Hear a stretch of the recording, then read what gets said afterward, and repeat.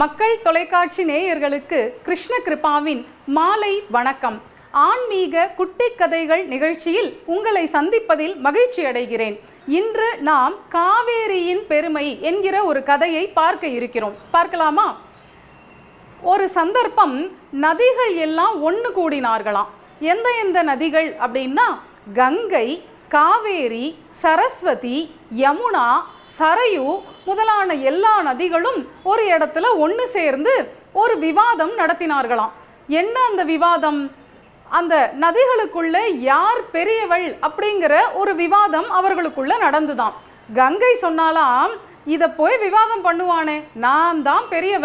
தீபாவளி அன்னைக்கு கங்கா ஸ்நானம் ஆச்சா அப்படின்னு தானே எல்லாரும் கேட்குறார்கள் அதனால கங்கைங்கிற என்னுடைய நதி தான் ஒசத்தி அப்படின்னு கங்கை சொல்கிறாளாம் உடனே அந்த சரஸ்வதி சொல்கிறாளாம் நான் தான் சரஸ்வதி நதி படிப்புக்கே சரஸ்வதி தான் தேவதை. நான் என்னுடைய நதியில் யார் குளிக்கிறார்களோ அவர்களுக்கு நல்ல கல்வி அறிவு நல்ல படிப்பு நல்ல ஞானத்தை நான் கொடுக்குறேன். அதனால் நான் தான் உயர்ந்த நதி அப்படின்னு சரஸ்வதி சொல்கிறாளாம் உடனே யமுனை சொல்கிறாளாம் தூய பெருநீர் யமுனை துறைவன்னு ஆண்டாளே பாடியிருக்கா. என்னுடைய கரையில் தான் சாக்ஷாத் கிருஷ்ண பரமாத்மாவே அவதாரம் செஞ்சார். அதனால நான் தான் ஒசத்தியான நதி நீங்கள்லாம் வாயை மூடுங்க அப்படின்னு இந்த யமுனை சொல்கிறாளாம் உடனே சரையு சொல்கிறாளாம் சாக்ஷாத் ஸ்ரீ ராமச்சந்திர மூர்த்தி என்னுடைய கரையில் தான் அவதாரம் பண்ணினார். என் கரையில் தான் தசரதர் புத்திரகாமேஷ்டிங்கிற வேள்வி நடத்தினார். ஸ்ரீராமரே என்னுடைய கரையில் தான் வந்து தோன்றினார். அதனால் சரையு என்கிற நான் தான் ஒசந்த நதி அப்படின்னு சரையு சொல்கிறாளாம் எல்லாத்தையும் கேட்டுக்கொண்டே இருந்த காவேரி நீங்கள் எல்லாரும் சொல்கிறதெல்லாம் பொய். நான் தான் உயர்ந்த நதி அப்படின்னு காவேரி சொல்கிறாளாம் சரி நமக்குள்ளேயே இப்படி விவாதம் பண்ணுறத விட பஞ்சாயத்துக்கு யாரையாவது கூப்பிடுவோம். யார் இதுக்கு தீர்ப்பு சொல்லுவா அப்படின்னு அவர்கள் யோசிக்கிறார்கள். பிரம்மா தான் எல்லாருக்கும் நடுநிலைமையான ஒருத்தர். அந்த பிரம்மா கிட்டேயே போய் நம்ம கேட்டுருவோமே அப்படின்னு எல்லா நதிகளும் ஒன்று சேர்ந்து பிரம்மதேவனிடத்துல போய் தங்களுடைய இந்த விவாதத்தை பற்றி சொன்னார்களாம். பிரம்மா எல்லாத்தையும் கேட்டுட்டு நீங்க எல்லாரும் சொல்றதெல்லாம் ஒரு பக்கம் இருக்கட்டும். கங்கை தான் புனிதமான நதி. கங்கா நதி தான் உயர்ந்தது. அதனால நீங்கெல்லாம் மனஸ்தாபப்படாம அவரவருடைய பணி என்னவோ அதை செய்து கொண்டு இருங்கள் அப்படின்னு பிரம்மதேவன் சொல்றாராம். அதை கேட்ட உடனே கங்கைக்கு சந்தோஷம் தாங்கலை. நான் சொன்னேன் இல்லையா? நீங்களாம் கேட்டீங்களா? இப்போ எல்லாம் தோத்து போயிட்டீங்க.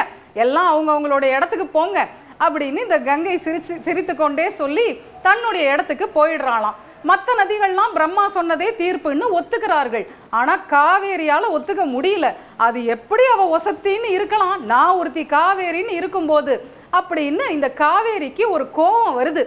கங்கையை விட உயர்ந்த நிலையை நான் அடையணும் அப்படின்னு சொல்லி ஸ்ரீரங்கம் வந்து காவேரி ரெங்கநாதரை குறித்து தவம் செய்கிறாளாம்.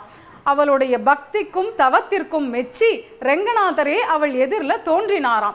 காவேரி எதுக்குமா நீ இப்படி தவம் பண்ற? உன்னுடைய கோரிக்கை என்ன? அப்படின்னு ரெங்கநாதர் கேட்குறாராம் உடனே இவள் அந்த ரெங்கநாதரை கண்டு மெய்சிலிர்த்து கை கூப்பி வணங்கி ரெங்கநாதா நாங்கள் நதிகள் எங்களுக்குள்ள ஒரு போட்டி வந்தது. அதில் கங்கை தான் உயர்ந்த நதின்னு பிரம்மா சொல்லிட்டார்.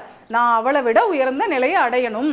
அதுக்காக தான் உங்ககிட்ட வந்திருக்கேன் அப்படின்னு காவேரி சொன்னாலாம் உடனே ரெங்கநாதர் சொன்னாராம் நீங்க எல்லாம் ஏன் பிரம்மாட்ட போனீங்க? நேராக என்கிட்ட வந்திருக்கலாம் இல்லையா? நான் சொல்லியிருப்பேனே தீர்ப்ப. நீ தவம் பண்ணி தான் உயர்ந்த நிலையை அடையணுமா? ஏற்கனவே நீ தான் உயர்ந்த நதி. நீங்க நீ எங்க எங்கிட்ட எல்லாரையும் அழைத்து கொண்டு வந்திருக்கலாமே அப்படின்னு ரெங்கநாதர் சொன்னாராம். உடனே காவேரி ரெங்கநாதா என்னை சமாதானப்படுத்துறதுக்காக நீங்க சொல்லாதீங்கோ. நீங்க உண்மையை சொல்லுங்கோ அப்படின்னு சொல்றாளாம். உடனே ரங்கநாதர் சொல்றாராம் அம்மா காவேரி எந்த ஒரு நதியில கால் நெகம் பற்றுக்கோ தலை கேசம் பற்றுக்கோ வாய் எச்சல் பற்றுக்கோ அந்த நதி புனிதமானது அல்ல. கங்கையில் என்னுடைய கால் நகம் பற்றுக்கு. விஷ்ணு பாதோத்பவான்னு பேரு கங்காக்கு.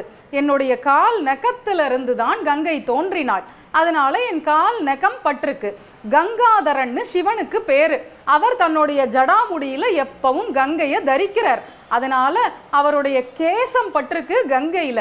ஜன்ஹூ அப்படிங்கிற ஒரு மகரிஷி கங்கையை பூரா குடிச்சிட்டு வெளியில விட்டார். அதனால அவருடைய எச்சில் கங்கையில பட்டிருக்கு. ஆக என்னுடைய கால் நகம் சிவனுடைய கேசம் அந்த ஜன்ஹூனுடைய எச்சில் இவ்வளவும் பட்ட நதி எப்படி புனிதமா இருக்க முடியும்? ஆனா உனக்கு இந்த எந்த தோஷமும் கிடையாது. உன்னுடைய கரையில தான் எப்போதும் நான் ரெங்கநாதராக பள்ளி கொண்ட பெருமாளாக பக்தர்களுக்கெல்லாம் அருள் பாலிக்கிறேன். அதனால் நீதான் உயர்ந்த நதி அப்படின்னு ரங்கநாதர் காவேரிக்கு அந்த ஒரு உண்மையை சொன்னாராம். காவேரி ரொம்ப சந்தோஷமா இன்றளவும் ஸ்ரீரங்கத்தில் கட்டுக்கடங்காத காவேரியாக கரை புரண்டு ஓடுறாளாம்.